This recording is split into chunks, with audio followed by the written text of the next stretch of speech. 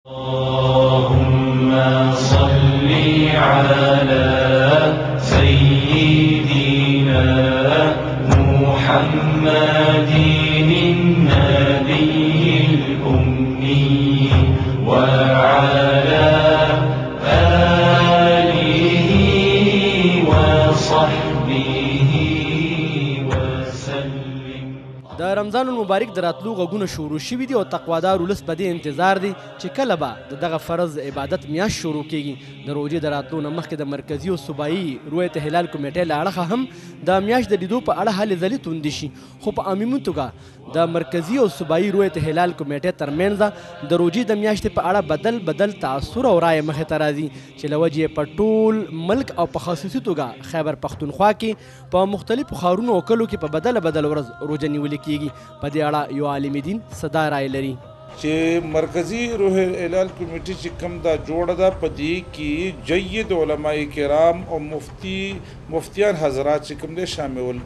شاملیدل پکار دي.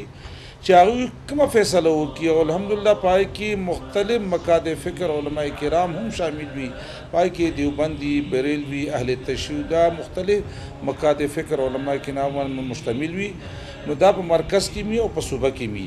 نو که دوی کومه فیصله وکړي نو دا به د پاکستان عوامو ته قابل قبول وي تاسو ګورئ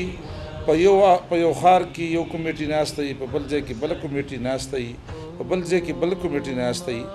نو هغه بیا انفرادي خپلې فیصلې کوي نو دا شرعاً چې کوم دی قرآن حدیث په رڼا کې د دې کمیټو چې کوم دی شرعاً دوی ته څه حق حاصل نه دی چې دوی دا اجلاس دوی وکړي او په دې کې او د روژې مبارکه چې کوم دی هغه میاشت تعین وکړي چې نن سبا به روژه وي نو د حکومت وقت دا یو شی هم دا هم پکار ده چې حکومت وقت دا اجلاس له زیات وخته پورې چې کوم دی کول په کار دي ولې چې شهادتونه راورسي. بل خوا عام ولس د روژې په اړه څه تاثر لري چې آیا روژه په یوه ورځ یا په بدله بدله ورځ په کار ده؟ او خوشحالي زموږ ته په دې ده چې په ټول ملک کې یو اسلامي دغه دی چې ووایي چې روژ سبا روژه ده او ټول خلک په یو ځای باندې روژه ونیسي نو په دې کې ثواب هم دی او یو خوشحالي هم دی پکې جي.